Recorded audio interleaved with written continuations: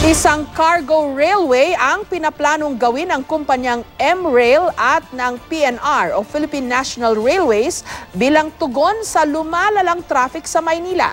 Ayon sa M-Rail, magsisimula ito sa Manila Port hanggang Calamba, Laguna.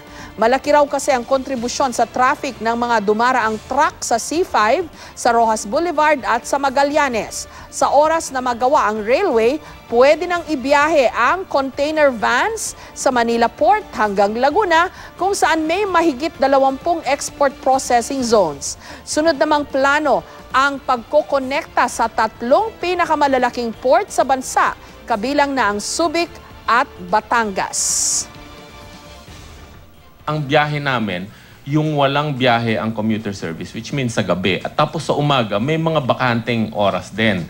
So tumahi kami doon sa mga bakanteng oras nila.